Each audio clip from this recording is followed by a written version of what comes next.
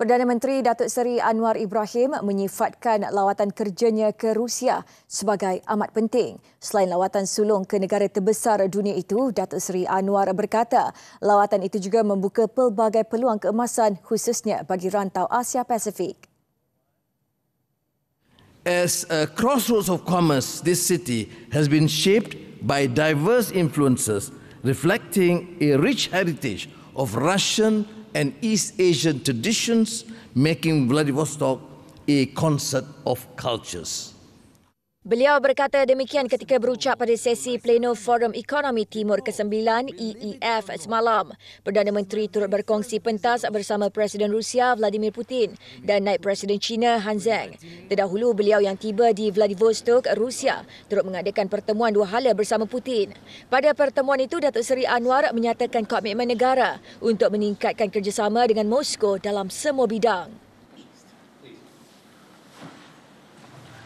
Sementara itu, Datuk Seri Anwar Ibrahim menyatakan terdapat peningkatan antara syarikat dan perniagaan dari Malaysia dan Rusia untuk menjalinkan kerjasama. Ujar Datuk Seri Anwar, perkembangan positif itu dapat dilihat menerusi hasrat syarikat Rusia yang ingin berkunjung ke Malaysia tidak lama lagi. Russian companies, I've told them, we are an independent country, the centrality. Uh, we want to be uh, engaging with Russia more uh, effectively. Uh, and um, I was uh, extremely delighted that many of them are coming. When I asked them, when are you coming? We're planning. Some are saying, we will go next week. And a group will come in October. So uh, there is interesting progress in, in interest. Beliau berada di Vladivostok bagi lawatan kerja selama dua hari ke Rusia yang berakhir semalam. Rusia merupakan rakan dagangan ke-8 terbesar Malaysia dalam kalangan negara Eropah.